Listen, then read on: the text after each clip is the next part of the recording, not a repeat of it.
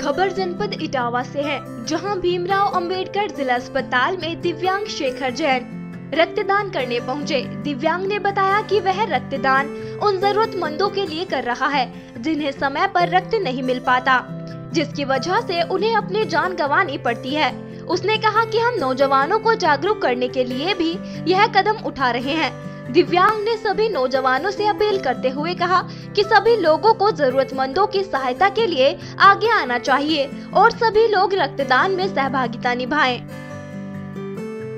बस, हम तो यही कहना चाहते हैं कि हम एक शारीरिक रूप से विकलांग होने के बावजूद भी अगर हम रक्तदान करने के लिए आगे बढ़ सकते हैं तो हम चाहते हैं कि जितने सभी लोग जो हैं स्वस्थ, वो ज़्यादा से ज़्यादा लोग आगे आए कोरोना की इस महामारी संकट में अगर रक्तदान ज़्यादा से ज़्यादा किया जाएगा तो बहुत सही रहेगा। पूरे देश का सहयोग कोरोना के संकट महामारी के सहयोग भी रहेगा।